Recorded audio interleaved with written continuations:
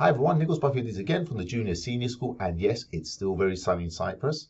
Today's tutorial is all about Microsoft Forms. The main concept is about trying to get our whole clutter of forms, which probably looks like this mess over here, looking like this nice tidy little pile on this side. Now, this is with the new feature called Collections from Microsoft. However, in this tutorial, we're going to learn a little bit more. We're going to get a more in-depth understanding of where forms are actually stored, how to find them, and especially when it comes to forms generated when we create an assignment in a class team, where they're stored and how we can manage them. So let's get started. Okay, I'm here in my 365 account and I've already clicked on forms and we can see the, the basic interface that we probably all see when we open up forms. So from here, let's just analyze the interface. We've got our recent, and here we can see the most recent forms that you have opened. This actually confused me a little bit. I thought these were all my forms and I was looking for my forms. But we're going to come back to that in, in a couple of seconds. Next to recent, we've got pinned. So if you want to pin a form uh, so for quick access, uh, it will appear here. But this one's quite useful. Shared with me.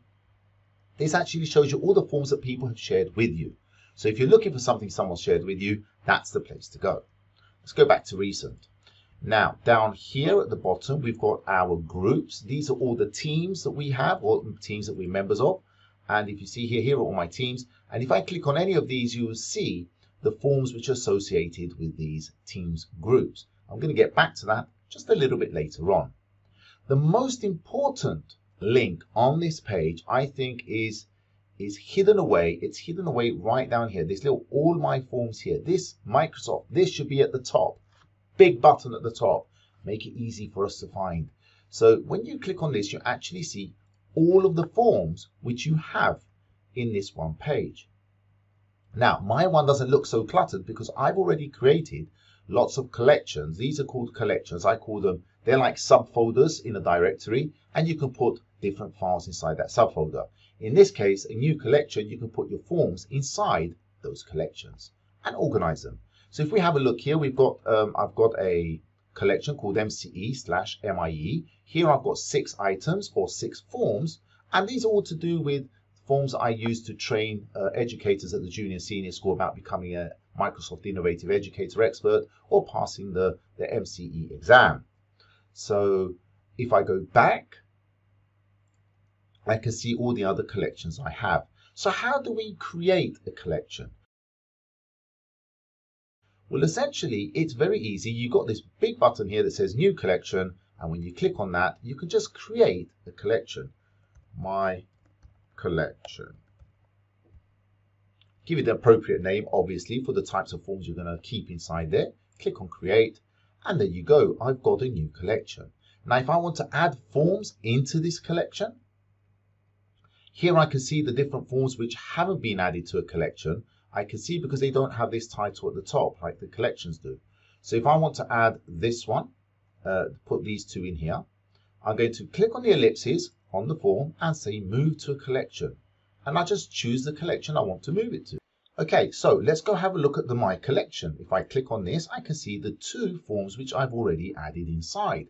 Super easy, gets things organized really quickly. Okay, let's say I want to move one of these out.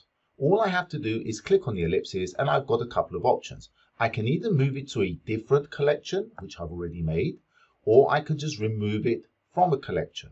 We're going to look at move it to a group in a short while. Or I can delete it. So I'm just going to remove from collection. So that's the untitled quiz. I'm going to remove from the collection. Going back to my forms and we can see that the untitled quiz, where is it? Here it is, here, has now moved back to the main area. Now, if you delete a collection, be very careful. So to delete the collection, you will click here and you will go to delete. But when you do, you get a warning and it says essentially all the forms inside that collection will be deleted. Now, if you do this accidentally, have no fear because you can always find your deleted forms inside the recycle bin. So in the recycle bin here, you can go and find all those deleted forms. So let's go back. So if you do want to delete a collection, the ideal thing to do is to essentially open the collection, move these either to a different collection or just remove them from the collection like this. Now that collection is empty, I can click on the ellipses and delete it. Now, if I want to create a new form, I can either create a new form or a quiz from here, and that will actually generate the new form or quiz in the main directory, and then I would have to move it into the collection. However, you can very easily just add, so if I go to this one here, which is all the ones I have on Hack My Passwords, uh, competitions which I create, if I want to create a new one, I can simply create the new quiz or a form directly from here. So if I do that here, let's do it. I'm going to do new form. Details, and I'm just going to add a simple text field there. Enter name, and that's it. So now when I close this, I'll go back to my forms. And now I'm going to go to all my forms, go to here my collections. Inside this HMP challenges and hack my passwords, I've got this new one which I just made, details. Okay, so you can actually create forms directly in those collections. Okay, so we're going to look at groups now, and just to get a good understanding of what groups are. So if I go to all forms, if I go back to my forms here, we saw at the beginning that we've got these groups here. And these are all our teams groups. Okay, now it could be a class team, it could be a staff team, any team that you have, you can actually associate forms to that team. Now, what's the advantage of this? We're going to see it now. So what I'm going to do first, I'm going to open up an assignment. I'm going to create a new assignment using my practice or my training team, which I've got here, teach, teacher training.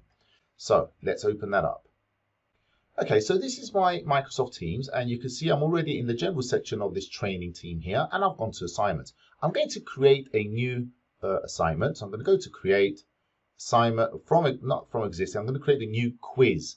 Now, keep in mind, from assignments, you can only create a quiz. You cannot create a form, mainly because assignments are there for us to assess students. So you need something that's actually going to give you some kind of value of their assessment and therefore you would use a quiz because quizzes you can put grades.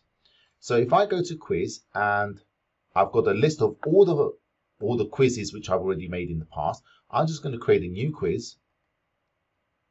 And I'm going to call this, I don't know, let's say um, device hardware quiz.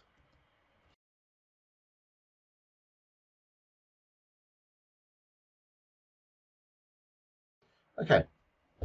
Now, I've made this quiz. I'm just going to click on done and that's already created my assignment. I'm, you can, I'm not going to go into assignments. You can modify the, the, the due date and whether you're allowing late submissions or not. I'm just going to assign this now.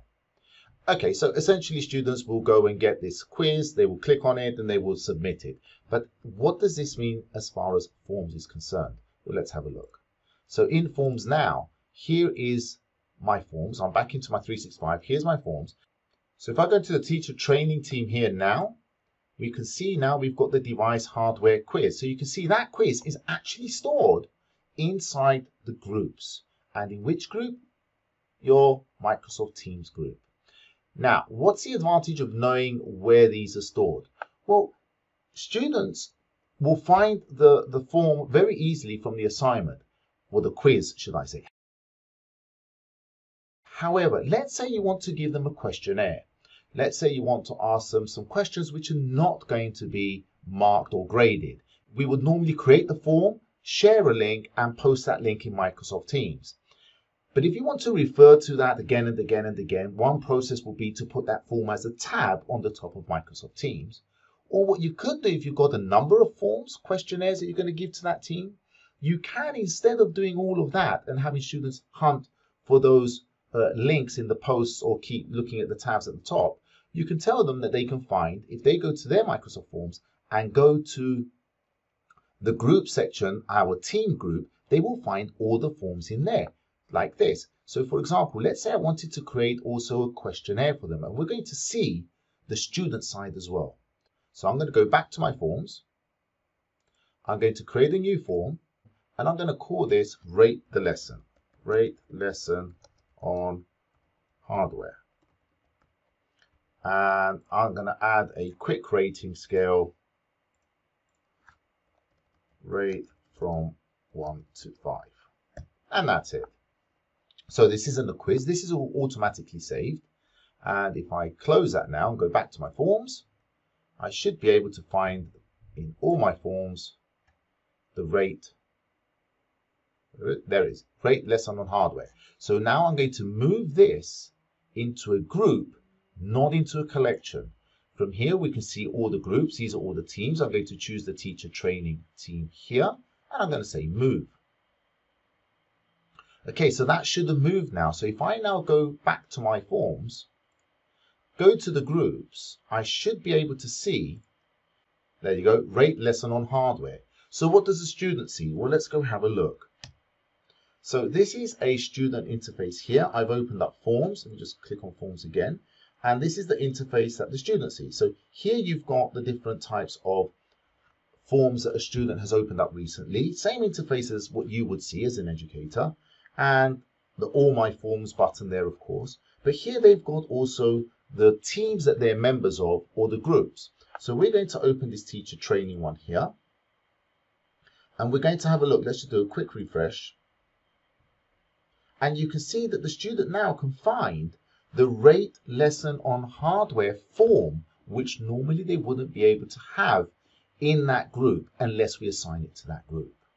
Okay, so you can send forms to your students and they will be able to find them easily by just going to the group. They also have the quizzes which you set as an assignment.